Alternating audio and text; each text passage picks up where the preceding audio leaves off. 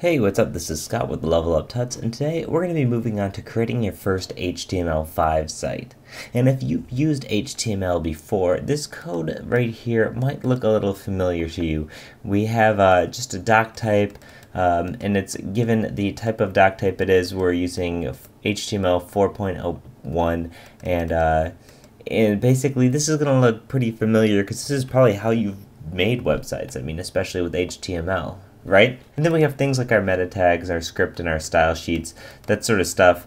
And then we have our body tags like normal. So this is all looking pretty normal. I mean, there's nothing crazy here, right? In fact, I actually just grabbed this, you know, from some project building site. I don't really have a, a site going here. I'm actually going to get rid of some of this stuff here, um, just so we can keep this bare bones.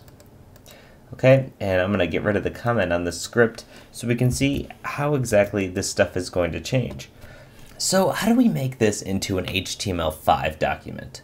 Well, uh, if you recall, you know, with, with the doc type up here, all we actually have to do to declare an HTML5 doc type is just do doc type HTML. So it's exclamation point, doc type in all caps, and then HTML. So this is letting your browser know to run in standards mode for HTML5. This is the HTML5 doc type. Couldn't get any easier than that. Well, what next? Well, we don't really need this lang ing, but we can leave it in there. No big deal. And uh, the next thing we want to do is we want to define its character set. Well, in here, your HTML4 version, we had to use uh, this HTTP equiv content type, content text HTML. With HTML5, you really just need to declare the character set here by saying meta character set and then UTF-8. And we can do that just like this here. So this is our character set, meta character set. And I'm just going to get rid of these meta keywords for now because they're just getting in the way. And our title tag will be our HTML5 site. So title's not changing. That's the same as it's always been. But what about these, uh, you know, these link types? I'm, I'm going to get rid of this favicon one as well here. So now we just have a link uh, that's hooking up your style sheet and we have our script tag that's hooking up our JavaScript.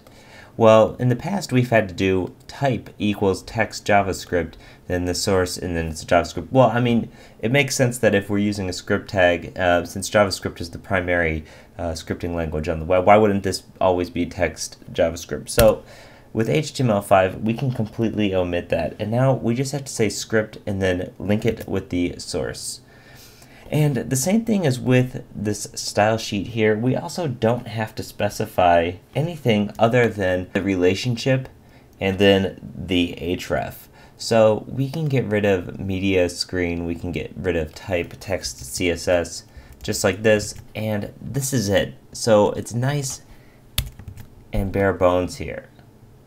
So this is our HTML5 site. Now, if you'll notice, we can put anything in the body here, uh, and they could be just normal divs, you know, uh, just normal everything, right?